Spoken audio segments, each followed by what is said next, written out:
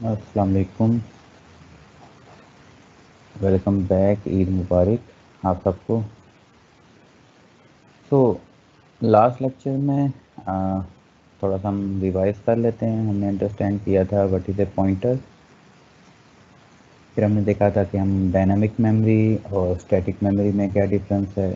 हमने एक simple programme किया था जिसमें हमने तीन वेरिएबल्स लिए थे लेट से साइज़ एक हमने पॉइंटर लिया डाटा पीटीआर इंट यूज्ड फिर हमने एक अरे क्रिएट की डायनामिक मेमोरी में, उस अरे में कुछ रेंडम वैल्यू स्टोर करवाई, फिर यूज्ड को हमने क्या किया प्लस इसी तरह ही हमने देन जो भी वैल्यू हमने रेंडमली स्टोर कराई, उनको हमने डिस्प्ले करवाया, अगर आपको याद हो एक स्लूप के through and then we move to towards another अरे फिर हमने देखा कि डिलीट ऑपरेटर कैसे काम करता है।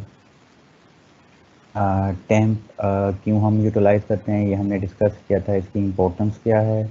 एंड लास्टली हमने देखा था कि लेट से अगर हम डिलीट पीटीआर कर दें तो वो मेमोरी जो डायनामिक मेमोरी में रिज़र्व है, जिसके अगेंस्ट एड्रेस स्टोर है डाटा पीटीआर में तो वो मेमोरी क्या हो जाएगी? डायनामिक मेमोरी से रिमूव हो जाएगी।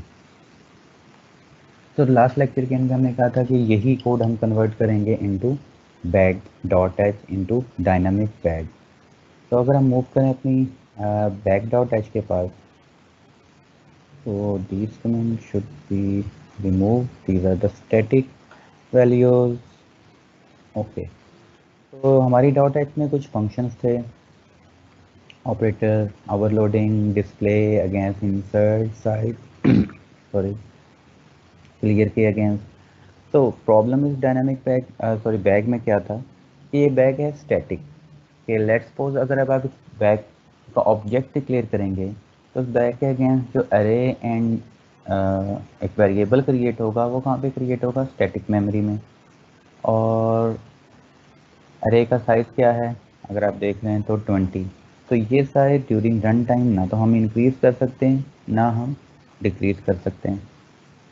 तो इस प्रॉब्लम को सॉल्व करने के लिए हमने एक्चुअली पॉइंटर्स को अंडरस्टैंड किया और उसमें हमने देखा what is a heap memory, हम पॉइंटर्स के अंदर डाटा कैसे स्टोर करते हैं, उसको एक्सेस कैसे करते हैं तो ऑल दीज थिंग्स हमने प्रीवियस लेक्चर्स के अंदर अंडरस्टैंड की।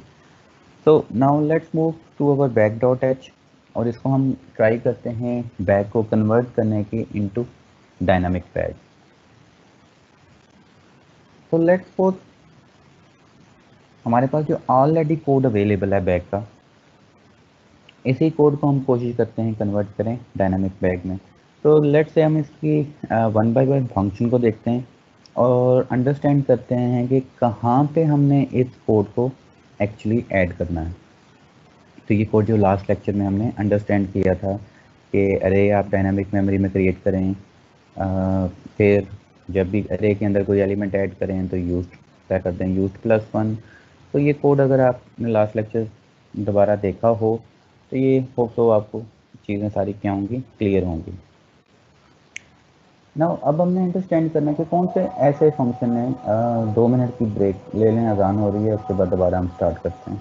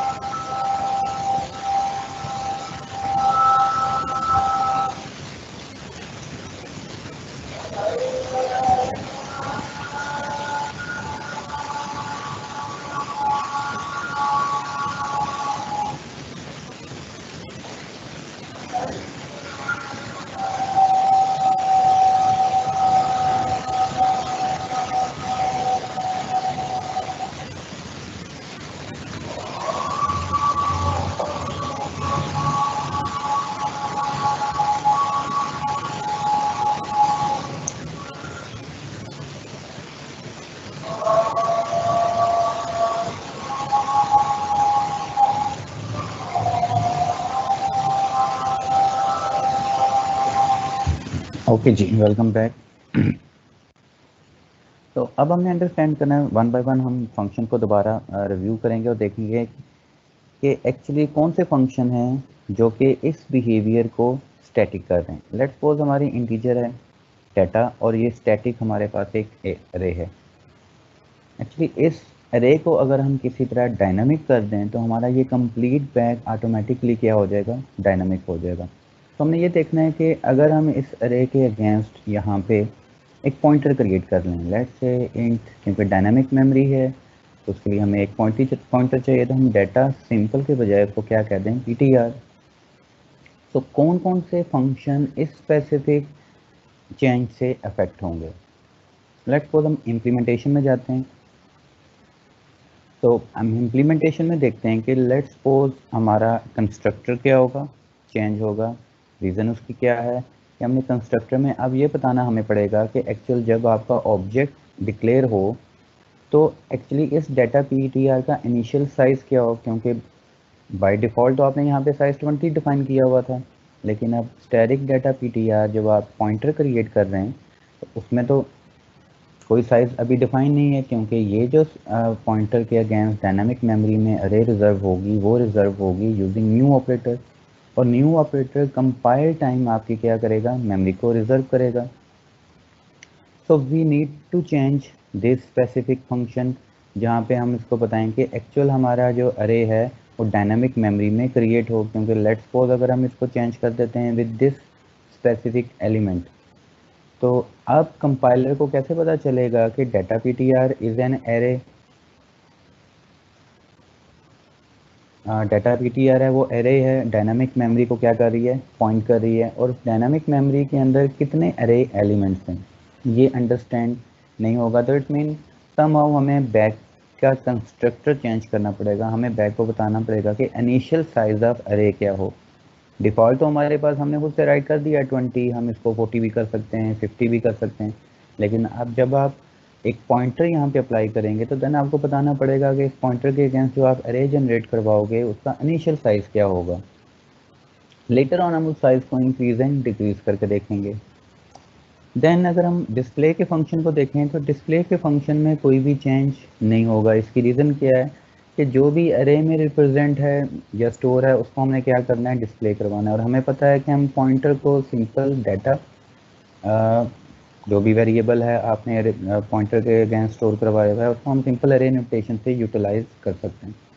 तो this function remains the same almost जो आपका इंसर्ट का फ़ंक्शन है, उसमें अब आपने क्या करना है पॉइंटर एरे के अंदर वैल्यू को स्टोर कराना है। तो ऑलमोस्ट ये जो फ़ंक्शन है, आपका सिमिलर रहेगा एक्सेप्ट दिस वन यहाँ पे हमने अब क्या करना है कि लेट से अभी हमारे पास एक स्टैटिक वैल्यू की थी ट्वेंटी तो हम अब चेक करेंगे लेट से आपकी अरे का साइज़ क्या है? फॉर एग्जांपल मैन में है तो हमने इस साइज़ वेरिएबल को ऐड करना है अपनी क्लास के इनसाइड अगर तो वो साइज़ आपका जो यूज़ है equal to equal equal to size है तो हमें सम हाउ यहाँ पे कंपाइलर को बताना पड़ेगा कि अब जो सिचुएशन है हमारा डायनामिक बैग है। तो हम क्या करना चाह रहे हैं? उस साइज़ को रन टाइम पे क्या करते हैं? इंक्रीज कर दें तो हमें सम हो न्यू मेमोरी रिज़र्व करवानी पड़ेगी। तो हम एक न्यू फ़ंक्शन देखेंगे रिज़र्व का फ़ंक्शन जिसमें हम कहेंगे कि लेट से अगर आपका जो भी साइज़ है लेट सपोज़ आपके रे का साइज़ ट्वेंटी था तो आप अब twenty plus one in other word size let's say plus one अगर साइज़ में ट्वेंटी स्टोर है तो आप एक मेमोरी रिज़र्व करें, जिस मेमोरी का साइज़ क्या हो? ट्वेंटी वन और उसके अंदर अब आप क्या करें? वैल्यू को ऐड करें। क्योंकि अब इनिशियली वैल्यू क्या थी? यूज़ ट्वेंटी ट्वेंटी वन के लिए तो स्पेस ही रिज़र्व नहीं थी तो आप क्या करेंगे? सबसे पहले स्पेस रिज़र्व करेंगे और देन क्या करेंगे? वैल्यू को ऐड करेंगे। तो ये रिज़र्व का फ़ंक्शन हमें डायनामिकिज्म प्रोवाइड करेगा कि हम रन टाइम पे अपनी अरे को 20 के बजाय उसका साइज़ क्या कर देंगे? 21 तो दिस फ़ंक्शन वी नीड अभी इसको हम क्या कर देते हैं? रिज़र्व कर कमेंट कर देते हैं। तो इट मीन ये आपका कोई फ़ंक्शन क्या होगा? चेंज होगा। अगर साइज़ की बात करें तो ऑब्वियसली जो भी यूज़ की वैल्यू है, वो आपका एक्चुअल क्या है? साइज़ है। तो ये फ़ंक्शन बिल्कुल भी चेंज नहीं होगा। क्लियर का फ़ंक्शन चेंज नहीं होगा। देन हमारे पास क्या बैग है? अगर आपने में बैग में से कोई वैल्यू को सर्च करना है तो अगेन आप नॉर्मल अरे से जैसे अरे को यूटिलाइज करते हैं, उसी तरह यूटिलाइज करते हुए आप पॉइंटर अरे को भी यूटिलाइज कर सकते हैं। So this function will also not change how many की अगर हम बात करें तो ये फ़ंक्शन भी क्या होगा? चेंज नहीं होगा। रिमूव की बात करें तो अगेन इसको हम लेटर देखेंगे कि रिमूव करने का मतलब है कि आप मेमोरी स्पेस को क्या कर दें? डिक्रीज कर दें। तो इस फ़ंक्शन को भी हम थोड़ा सा क्या करेंगे? चेंज करेंगे। Delete duplicate again this function remains same almost लेकिन थोड़ी सी वैल्यूज़ क्या होंगी? चेंज होंगी। ऑपरेटर प्लस जो है अगेन इसको एज इट इज़ ही हम रहने देंगे, क्योंकि थोड़ी स्टैटिक वैल्यू को सिंपल हम चेंज करेंगे with the respect of size लेकिन this function remain same operator plus remain same तो ऑलमोस्ट आपका जो बैग है, अगर हम उस पर इंसर्ट के फ़ंक्शन को मैनेज कर लें समहाउ कि जब भी यूज़र वैल्यू ऐड करता जा रहा है तो अगर तो आपकी स्पेस कम होती जा रही है तो रन टाइम पे लार्ज स्पेस को क्या कर दें? रिज़र्व कर दें और देन वैल्यूज़ को क्या करें? ऐड करें।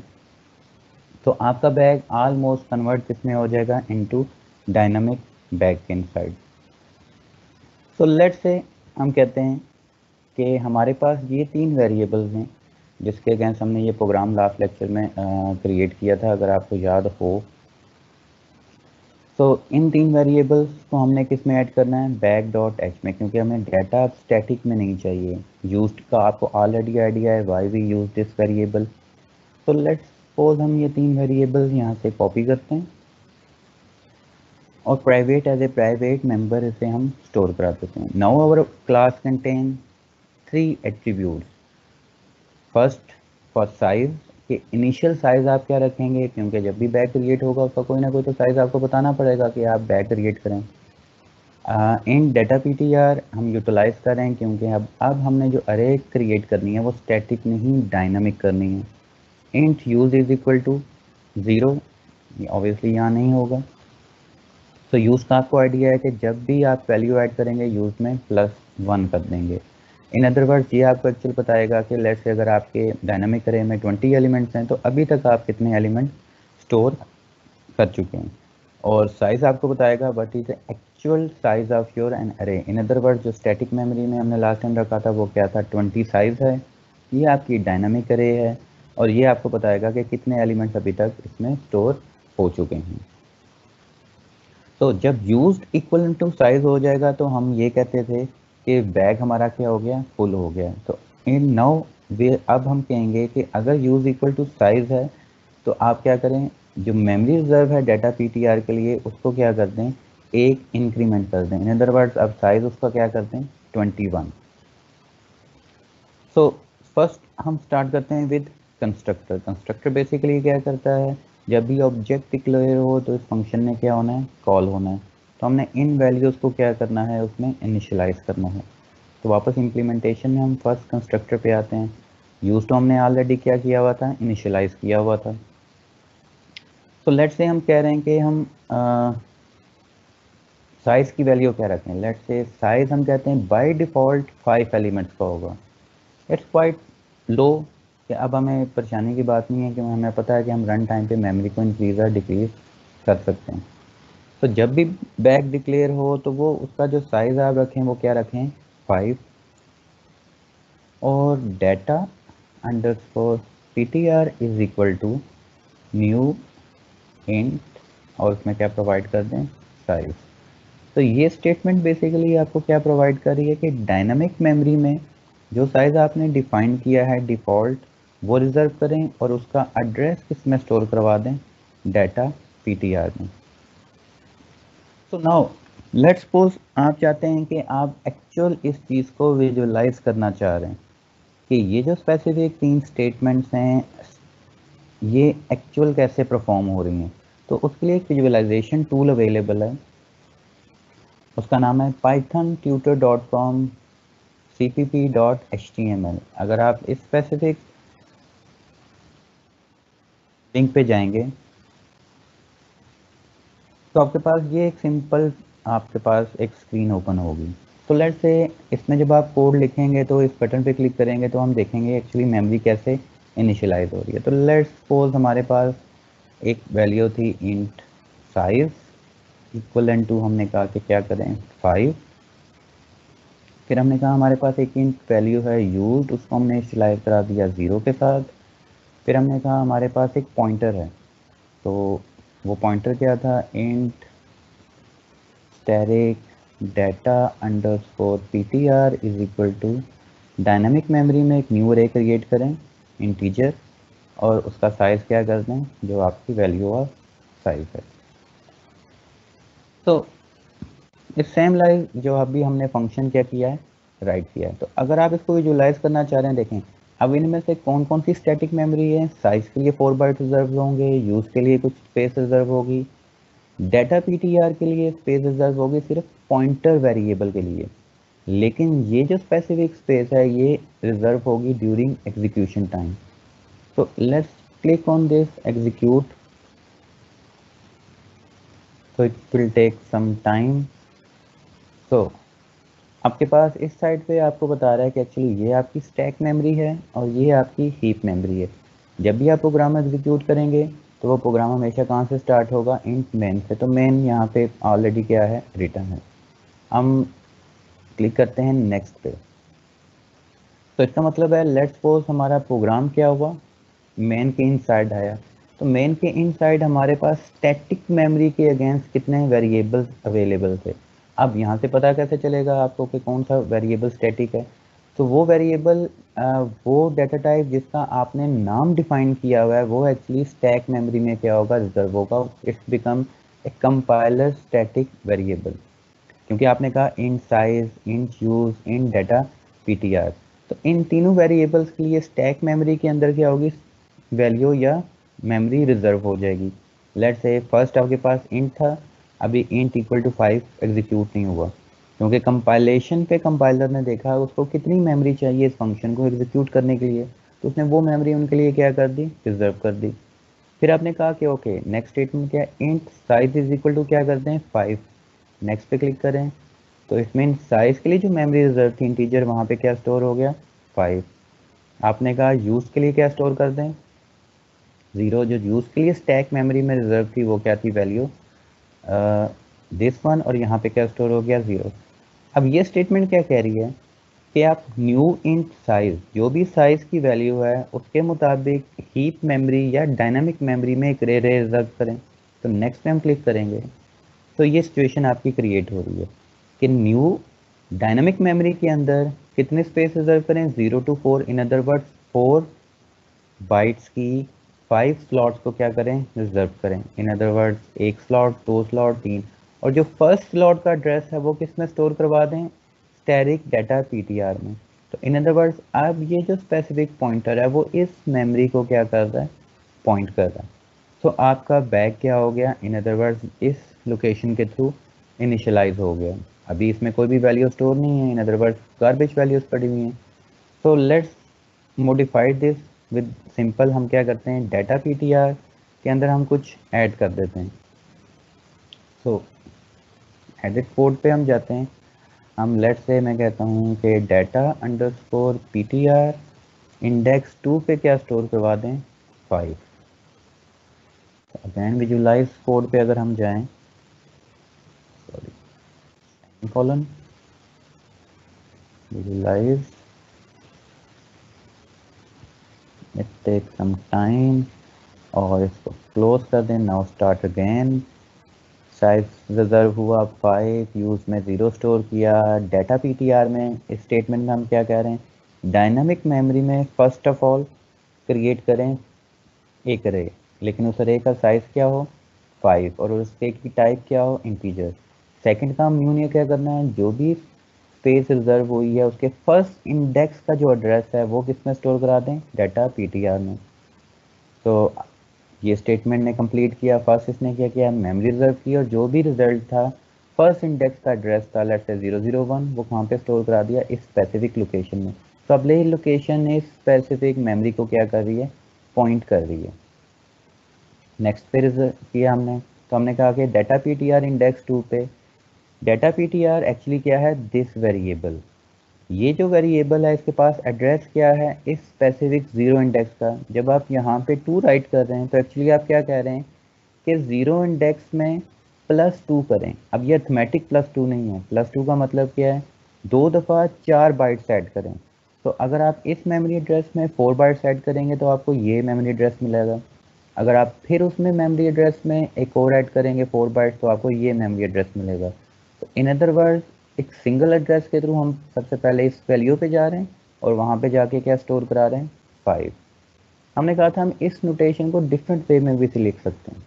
जैसे हम कह सकते हैं कि यही जो अरे नोटेशन है, इसको हम ऐड कर सकते हैं इस नोटेशन के inside dereference operator of dereference operator, data underscore ptr plus 2 so, let's से हम कहते हैं कि क्या यही स्टेटमेंट वही काम करेगी जो अभी अरे नोटेशन ने किया है। हम दोबारा मूव करते हैं विजुलाइज पे। Now start again memory statically reserve हुई देन डायनामिक मेमोरी रिज़र्व हुई, और आपने क्या कहा? अब यहाँ पे आप क्या कह रहे हैं? What is a value of data P T R तो डाटा पी टी आर की जो वैल्यू है, वो एड्रेस है इस मेमोरी लोकेशन का। उसमें क्या करें? प्लस टू बाइट्स करें। Two byte in other words four two times four bytes add करें क्योंकि आपकी एक की टाइप क्या है? इंटीजर तो इनिशियली आपका एड्रेस क्या है? ज़ीरो अगर आप इसमें P T R plus zero रखेंगे तो आपको इंडेक्स क्या मिलेगा? ज़ीरो अगर इसमें आप प्लस टू करेंगे तो आपको इंडेक्स क्या मिलेगा? टू तो डेट्स पर हमेशा आपके जो इंडेक्सेस हैं वो ज़ीरो से स्टार्ट होते हैं ताकि आपकी जो एड्रेस कैलकुलेशन है वो क्या हो? बेटर तरीके से मैनेज हो जाए। तो it's a very good interview question जब भी आप सी प्लस प्लस की बात करते हैं तो आपसे लोग ये पूछते हैं कि अरे के इंडेक्सेस हमेशा ज़ीरो से स्टार्ट क्यों होते हैं? आप ज़ीरो को फ़र्स्ट इंडेक्स क्यों कहते हैं? Why not one two three four five zero index क्या मतलब हुआ? सो so, इस वजह से है कि जब आप पॉइंटर के थ्रू एड्रेस की कैलकुलेशन करेंगे तो आपको ये कैलकुलेशन करने में आसानी होगी। लेट्स सपोज़ अगर ये वैल्यू स्टार्ट होती वन टू थ्री फोर से और जब आप यहाँ पे लिखते data P T R plus one तो इसका मतलब क्या था? जो भी आपके पास वैल्यू है, उसमें एक बाइट एक दफ़ा फोर बाइट ऐड करें। तो अगर तो ये इंडेक्सेस आपके स्टार्ट ही वन से हो रहे हैं तो ये फ़र्स्ट इंडेक्स आप कभी भी गेट ना कर सकते। तो इस वजह से रे के इंडेक्सेस हमेशा कहाँ से स्टार्ट होते हैं? ज़ीरो से। तो नेक्स्ट पे अगर हम क्लिक करें तो अगेन वही सिचुएशन है कि आपकी वैल्यू कहाँ पे स्टोर हो रही है? इंडेक्स टू पे। तो ये आपको क्या कर रहा है? डाटा पीटीआर में दो दफ़ा फोर बाइट्स ऐड करें। जो भी मेमोरी एड्रेस आपको लोकेट हो रहा है लेट से ये एड्रेस था one zero one zero two zero three तो फोर फोर बाइट ऐड करने के बाद आपके पास ये एड्रेस आया। उस स्पेसिफिक एड्रेस पे जाएँ और वहाँ में वैल्यू क्या स्टोर करवा दें? फाइव तो फाइव यहाँ पे क्या हो गई? स्टोर हो गई।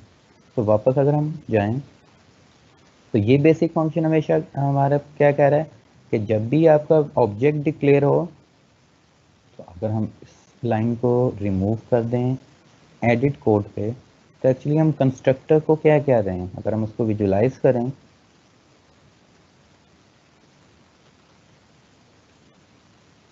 takes up to 10 seconds, let's pause next next next.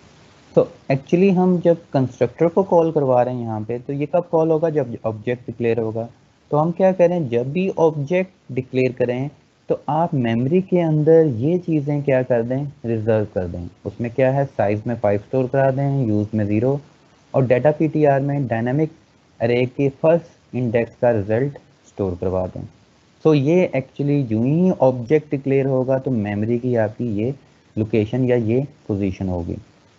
अच्छा किसी ने मेरे से क्वेश्चन पूछा था कि हमें पता है इंटीजर फोर बाइट्स का है, हमें पता है यूज़ क्या है, क्योंकि इंटीजर है, क्योंकि ये फोर बाइट्स है।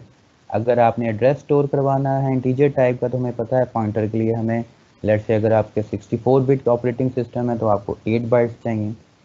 So what about a class अगर हम एक क्लास का ऑब्जेक्ट क्रिएट करते हैं तो वो ऑब्जेक्ट कितनी मेमोरी लेगा? तो वापस अगर हम कोड पे जाएँ तो मोस्ट ऑफ़ द क्लासेस आपकी टाइम अभी हम वर्चुअल फ़ंक्शंस या उन फ़ंक्शंस की बात नहीं कर रहे।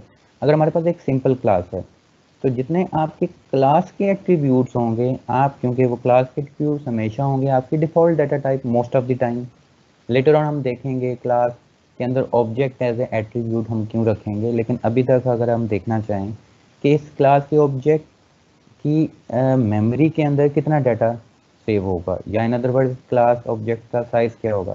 तो हम कह सकते हैं four bytes eight bytes and four bytes ये क्लास का जो ऑब्जेक्ट का साइज़ होगा, वो कितने बाइट्स का होगा? Eight plus four twelve plus four sixteen तो ओवरऑल बैग ऑब्जेक्ट जो है, वो सिक्सटीन बाइट्स की स्पेस लेगा.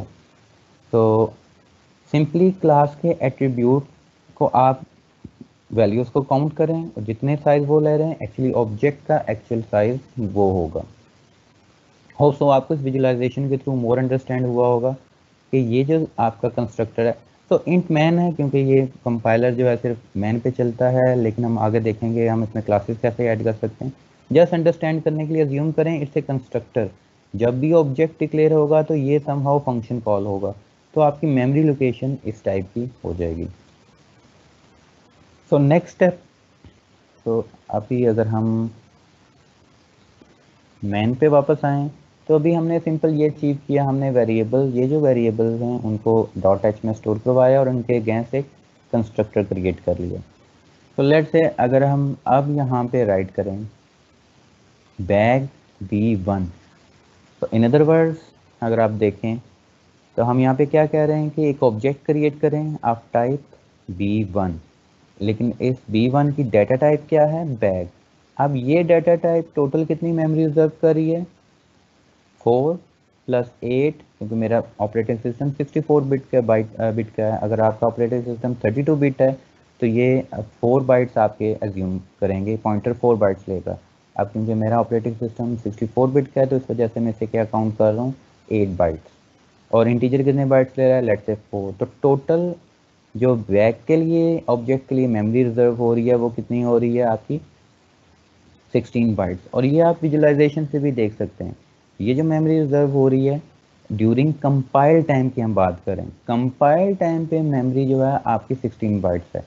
कंपाइलेशन टाइम पे आपको कभी नहीं पता होगा कि ये अरे कब आपकी क्रिएट होगी। अगर हम वापस इस फ़र्स्ट स्टेप पे चले जाएँ, अगर आपको ये कोई प्रोग्राम प्रोवाइड करे जिसमें ये डायनामिक अरे भी है। तो आपको बताएँ, मुझे बताएँ ऑब्जेक्ट की मेमोरी कितनी है टोटल तो ऑब्जेक्ट की टोटल मेमोरी एक्चुअली अगर आप देखें तो स्टैक मेमोरी के अंदर 16 बाइट्स रिज़र्व हैं और हीप मेमोरी के इनसाइड आपके one two three four five slots हैं। Five into four twenty bytes क्या हैं टोटल रिज़र्व हैं। तो अब डायनामिक की अगर आप बात करें कलेक्टिव स्टैक एंड हीप तो 16 प्लस 20 46 बाइट्स रिज़र्व हुए हैं। लेकिन अगर आप सिंपल कंपाइलेशन टाइम की बात करें तो कंपाइलेशन टाइम पे आपके लिए जो मेमोरी रिज़र्व हुई थी, वो कितनी हुई थी? 16 बाइट्स की सो बी वन जब भी अब हमने कहा जब ऑब्जेक्ट डिक्लेयर होगा, हमने इसमें कोई पैरामीटर पास नहीं किया it's mean default constructor call होगा। तो हम इस बैग को क्या करेंगे? एग्जीक्यूट करेंगे इस कंस्ट्रक्टर को। तो यूज़ में क्या हो जाएगा? ज़ीरो साइज़ में क्या हो जाएगा? Five and data P T R new int size तो ये आपकी एक्चुअल मेमोरी लोकेशन क्या होगी? कंस्ट्रक्टर इस मेमोरी लोकेशन या इस सिनेरियो को कंस्ट्रक्ट कर देगा। नेक्स्ट स्टेप हाँ हमारे पास आता है। तो लेट से हम इस प्रोग्राम को आ, इसी सिचुएशन में क्या करते हैं? अप्लाई करते हैं और देखते हैं कोई एरर आता है या नहीं आता अभी तक। तो बाकी ये सारा कोड हम यहाँ से कमेंट कर देते हैं। यहाँ तक।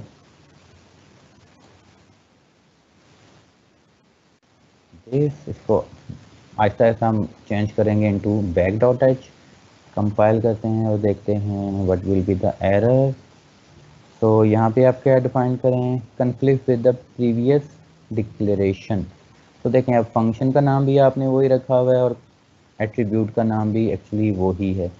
तो बेटर क्या है कि इन दोनों को हम क्या कर दें? चेंज कर दें। तो हम इसको साइज़ ऑफ़ हम कह देते हैं साइज़ ऑफ़ बैग और इम्प्लीमेंटेशन में भी साइज़ के फ़ंक्शन को हम क्या कह देते हैं? साइज़ ऑफ़ बैग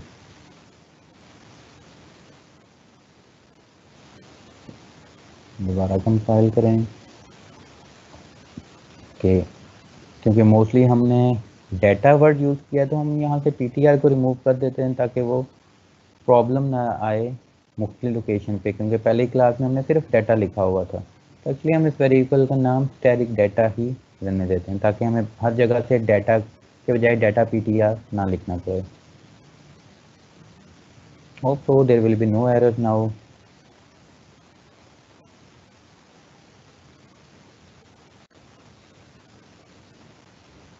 so इसका मतलब है कोई भी सिंटैक्स एरर नहीं है। अब हम इंसर्ट का फ़ंक्शन कॉल करके देखते हैं जो ऑलरेडी हमने बनाया हुआ है। तो हम कहते हैं B one dot insert twenty and B one dot display जो ऑलरेडी बैक के साथ हमने क्रिएट किया हुआ तो अगेन कंपाइल इसको हम करते हैं और देखते हैं कोई एरर तो नहीं आ रहा।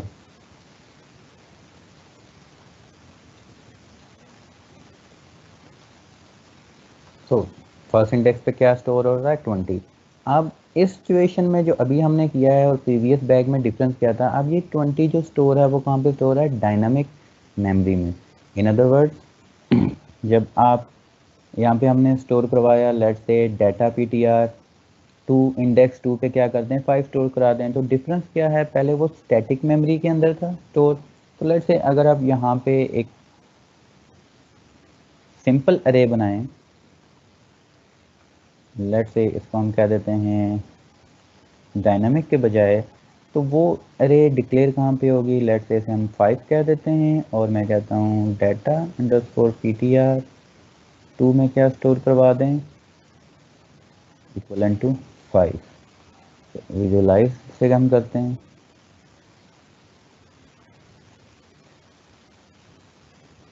तो डिफरेंस क्या है अगर आप देखें तो अब जो आपकी अरे क्रिएट हो रही है ड्यूरिंग कंपाइल टाइम यहाँ पे आपकी स्टैटिक मेमोरी या स्टैक मेमोरी के इनसाइड आपकी अरे के और है क्रिएट हो रही है।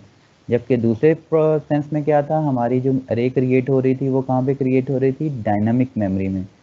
अब इस अरे और उस दूसरी अरे में डिफरेंस क्या है कि ये अरे अब रिज़र्व किसने करवाई है? आपकी कंपाइलर ने। क्योंकि अगर आपने प्रीवियस प्रोग्राम देखा हो, जिसमें हमने डाटा स्टैटिक लिखा था, हम एक और पॉइंटर यहाँ पे क्रिएट कर लेते हैं तो it will be easy to visualize हम कहते हैं कि int static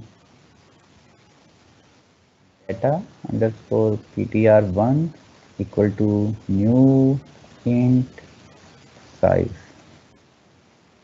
और डाटा अंडरस्कोर पीटीआर वन में हम क्या स्टोर करवा लेते हैं?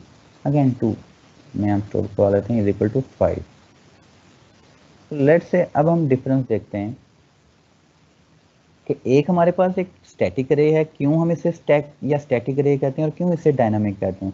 स्टैटिक रे आपके लिए जो मेमोरी रिज़र्व करेगा, क्योंकि अब आपने क्या कर दिया? इंट डाटा पीटीआर कंपाइलर को कहा है कि वो स्टैक मेमोरी के अंदर फाइव इंडेक्सेस की अरे क्रिएट करे। जबकि यहाँ पे आप कंपाइलर को क्या कह रहे हैं कि आप डायनामिक मेमोरी के अंदर जो भी अरे क्रिएट होगी, उसका एड्रेस सिंपल क्या करें? Data P T R one में स्टोर करवा दें। तो लेट से दोबारा हम इसको विजुअलाइज करते हैं। तो जो ही आप नेक्स्ट प्रिंट करेंगे तो इस फ़ंक्शन के इनसाइड कंपाइलर के पास जितने भी वेरिएबल्स होंगे, उनके लिए वो मेमोरी रिज़र्व करेगा। तो कंपाइलर के पास अब वेरिएबल्स कौन कौन से हैं? साइज़ यूज़ डाटा पीटीआर उसके पास एक वेरिएबल है। और उसमें आपने क्या कहा कि डाटा पीटीआर के अंदर फाइव स्टोर करें। In other word static memory के अंदर ये अरे क्या हो रही है? जनरेट हो रही है। अगेन अब कंपाइलर के पास एक स्टैरिक डाटा पीटीआर है। वो उसके लिए उसने क्या कर दी? स्पेस रिज़र्व कर दी। लेकिन ये न्यू इन साइज़ हमेशा कंपाइल टाइम पे क्या होगी? मेमोरी रिज़र्व होगी। जबकि अगर आप data P T R five लिखते हैं तो स्टैटिक वे है। तो ये कंपाइल टाइम पे आपकी क्या हो रही है? मेमोरी रिज़र्व हो रही है। तो ये कंपाइल टाइम पे हो रही है, इस मेमोरी को रिज़र्व किसने करवाया है कंपाइलर ने? तो कंपाइलर ही इसे डिलीट करेगा। सो डेट्स वाई हम कहते हैं कि ये क्या है? स्टैटिक रे है कि रन टाइम पे ना तो आप इसे इंक्रीज कर सकते हैं, ना तो आप इसे डिक्रीज कर सकते हैं। तो अगर हम मूव करें प्रोग्राम में स्टेप बाय स्टेप तो आप देखते जाएँ डेटा पीटीआर में फाइव है। अब डिफरेंस क्या है कि ये आपकी स्टैटिक रे है और ये आपकी क्या है? डायनामिक रे इस रे को आप रन टाइम पे डिलीट कर सकते हैं, लेकिन ये रे आपकी रन टाइम पे डिलीट नहीं होगी। तो हम डिलीट करके देखते हैं। तो लेट से अगर हम इसको डिलीट करना चाहें, हमने क्या कहा था? डिलीट ऑपरेटर और हम क्या कह रहे हैं? Data P T R one data underscore P T R one run time पे आप कह रहे हैं कि इस मेमोरी को डिलीट कर दें। कोड अगेन विजुअलाइज करके देखते हैं। देर विल बी एरर वो एरर क्या है? Data P T R one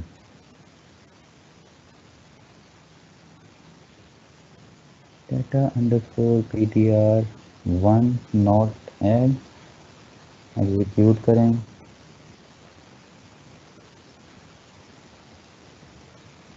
close again जो ही हम नेक्स्ट प्रेस करेंगे फ़ंक्शन के लिए, जो भी स्टैटिक मेमोरी रिक्वायर है, वो सारी की हो जाएगी रिज़र्व देन हम वैल्यू इनिशियलाइज करेंगे. आपकी डायनामिक मेमोरी क्या हुई रिज़र्व डायनामिक मेमोरी पे जाएँ और उसकी सेकंड इंडेक्स पे क्या स्टोर करा दें? फाइव फाइव ही. सॉरी फाइव यहाँ पे क्या हो गया? स्टोर देन आप कह रहे हैं कि delete data P T R one data P T R जिस मेमोरी को पॉइंट कर रहा है, उस कंप्लीट अरे को क्या करते हैं रिमूव कर दें. तो अगर हम रिमूव कर देंगे तो अगर आप देखें कि अरे, आपकी यहाँ से क्या हो गई रिमूव और ये आप डाटा पीटीआर में किस मेमोरी एड्रेस का वैल्यू पड़ी हुई है? गार्बेज वैल्यू अब ये डाटा पीटीआर वन किसी भी मेमोरी को पॉइंट नहीं कर रहा। तो ये बेसिक बेनिफिट है आपके डायनामिक अरे का या डायनामिक आपकी वैल्यूज़ का कि आप रन टाइम पे उससे क्या कर सकते हैं? रिमूव कर सकते हैं। अगर हम इसको रिमूव करना चाहें लेट से मैं डिलीट करूँ delete data underscore P T R it will be a compiler error reason क्या है?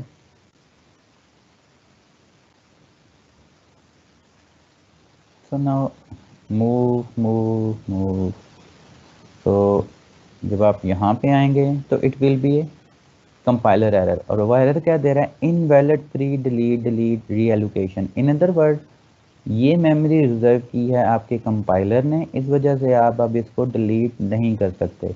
ये मेमोरी कब डिलीट होगी? जब आप इस फ़ंक्शन या इन दो ब्रैकेट के दरमियान में ये वेरिएबल है। इन दो ब्रैकेट से आउट अगर स्कोप जाएगा तो ये वैल्यू क्या हो जाएगी? रिमूव हो जाएगी। तो अगर आप देखना चाह रहे हैं, वाकई इसको स्कोप जो है दो ब्रैकेट्स के दरमियान में ही होता है या नहीं? तो हम इसको कोड को दोबारा एडिट कर लेते हैं। और हम एक सिंपल अगेन एक एक्सपेरिमेंट यहाँ पे कर लेते हैं। हम एक ब्रैकेट ऐड करते हैं, एक ब्रैकेट दिस हम कहते हैं int C is equal to twenty and this delete is an error इसको हम यहाँ से रिमूव कर देते हैं। नाउ वी विजुअलाइज कि हम देखते हैं क्या जब इन दो ब्रैकेट से आउट ऑफ़ स्कोप जाएगा तो सी के लिए जो मेमोरी रिज़र्व है वो डिलीट होगी या नहीं होगी?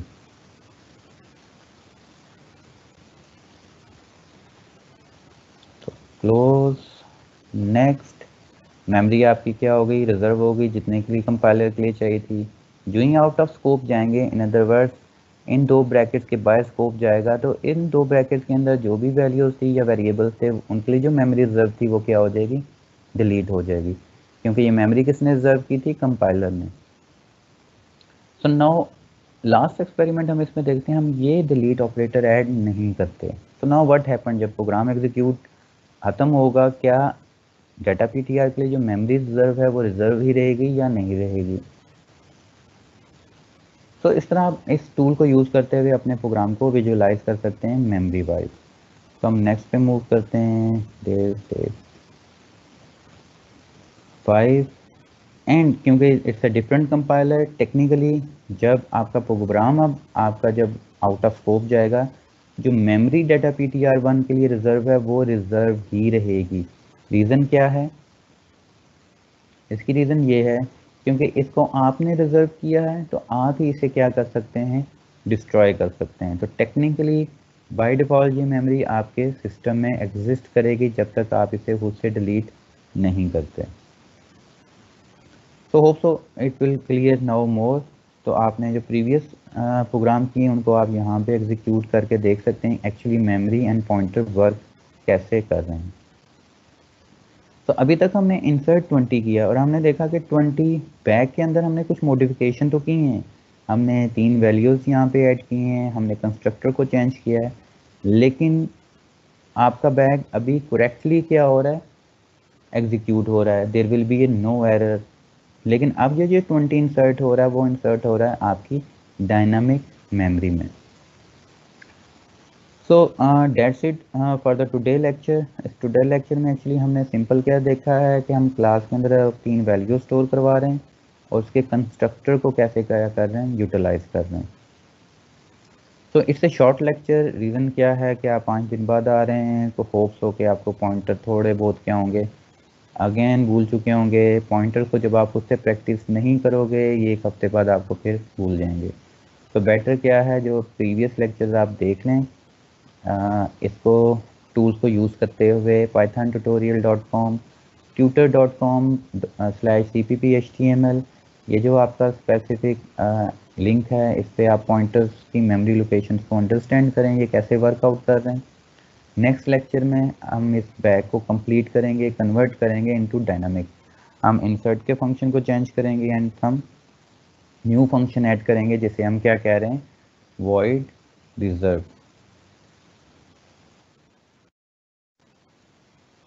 तो ये फ़ंक्शन एक्चुअली हमारे बैग को कंप्लीट क्या कर देगा डायनामिक में। अब हम इस फ़ंक्शन के थ्रू क्या होगा कि हम यूज़र को कहेंगे कि आप अपनी मर्ज़ी से जब तक चाहें ऐड करते रहें अंटरनलेस आपकी मेमोरी फुल नहीं हो जाती। अब मेमोरी कैसे फुल होगी? Depends upon RAM let suppose अगर आपकी 20 जी की रैम है तो बाय डिफ़ॉल्ट आप 20 जी आप कन्वर्ट कर लें कि आप कितने इंटीजर स्टोर करा सकते हैं।